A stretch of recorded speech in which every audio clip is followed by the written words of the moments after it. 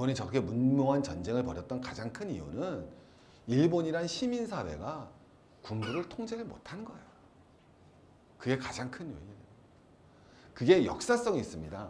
자, 일- 어떤 정도냐면 감정이란 게이 군인인데 만주사변 혹시 아십니까? 만주 쳐들어가잖아요. 일본 정부가 허락해 준 적이 없어요. 만주 군부가 한 거예요.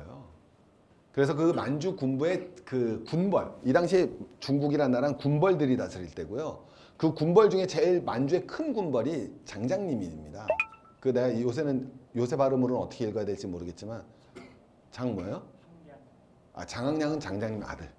예, 예, 예. 그 지네, 지가 일본 애들이 전쟁을 일으키려고 만주 군벌이 기차 타고 간 데다가 폭약을 설치해서 터트려 버려요. 그리고 지네가 안 터트리고 다른 놈들이 터트린 것처럼 해갖고 전쟁 빌밀 삼아서 전쟁을 들어가는 거예요. 그러니까 통제가 안 되는 군부예요. 그것만 안 되는 게 아니라 아 장쩌린이라고 그러는구나. 저는 이제 일, 발음이 다 모태똥 마오쩌똥 그러듯이 예, 저는 장장님 시절이라 장쩌린이라고 그러네. 아 참. 에휴 스트레스 받아. 일본 애들도 마찬가지예요.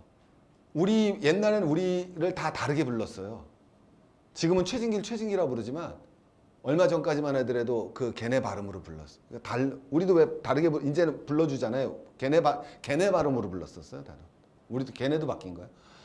자 똑같이 마찬가지로 수상도 죽이고요. 군부가 골 때리는 나라예요, 여러분. 구테타도 일으키고요. 군부가 뭐 우리도 많이 해본 거라 익숙하긴 하지만. 그 다음에 이게, 이게 총리 26대 총리, 27대 총리, 28대 총리, 25대 총리, 29대 총리, 20대 총리, 30대 총리 다 군부가 암살해서 죽여요. 골 때리죠. 그러니까 군부가 통제가 안 되는 거예요. 그 안 된 이유 중에 가장 대표적인 이유가 뭐냐면 일본이 메이주 유신하면서 천황을 놔두죠. 덴노의 문제가 나오는데 입헌군 주제잖아요. 일반적으로는. 근데 일본은 입헌군 주제의 본질은 뭐예요? 왕은 권한이 있어요, 없어요? 근데 일본은 그렇게 할 수는 없었던 거예요. 왜? 번이 쇼군을 제끼고 황제에게 권력을 다시 대정봉환을 했잖아요. 그럼 이제 누구는 없는 거예요? 쇼군은 없죠. 근데 일본은 어쨌든 누가 지금 최고의 지위에 있어요? 황제, 천황.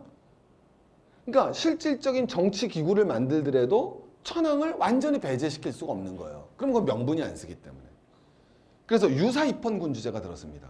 그래서 여기 보시면 굉장히 재밌겠지만 내각이 있어요. 그래서 여기서 정치를 하는데 내각을 황제가 어쨌든 임명을 하죠. 덴노니까.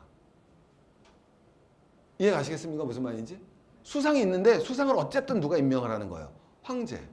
수상이 모든 실권을 행사를 해요. 근데 그걸 임명하는 건 누구예요? 황제. 그 다음에 여기서 보시면 알겠지만 재판을 얘네들이 해요. 독립적으로. 근데 재판관은 또 어쨌든 누가 임명해요? 천황. 왜? 덴노니까. 일본은 천황이잖아. 지금도 일본에서는 천황 비판한다고 그래요? 못한다 그래요? 못하지 않습니까? 더 중요한 거는 더 중요한 거는 뭐가 되느냐? 군대의 통수권을 천황이 갖고 있죠. 그러니까 내각이 군을 못 건드리는 거예요. 그러니까 군 따로 내각 따로 가는 거죠. 그래서 웃긴 게 아까 구테타 보셨잖아요. 구테타가 왜 실패하는 줄 아세요? 구테타에서 내각 다 조져요. 근데 황제가 야 돌아가 그런 거예요. 그럼 얘네가 명분이 있어요 없어요? 그래서 돌아간 거예요. 그래서 다 사용되는 거예요. 아주 독특한 구조였죠.